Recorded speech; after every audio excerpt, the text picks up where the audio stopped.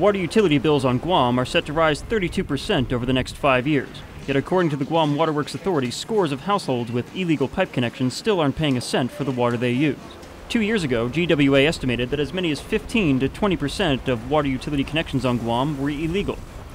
That number has begun to decline due to GWA's efforts to crack down on water theft.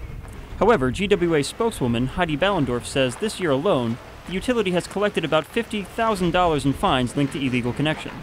They know they're they're cheating all of us. They're cheating you and I and, and the ratepayers because just like anything, uh, that costs us money.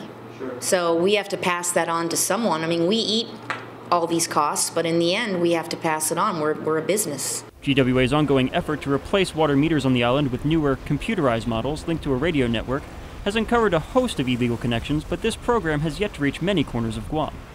For example, Ballendorf says the village of Dededo may hold dozens of illegal water connections that have previously gone unreported.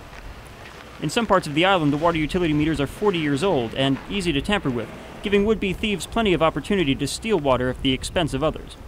This has prompted GWA to put locks on many meters to bar thieves from manipulating them.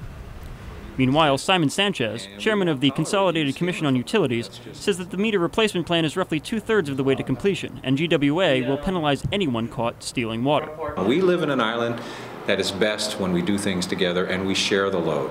If you're trying to steal from this community, then you should be stopped. And, and, and in this small way, GWA contributes to stopping it.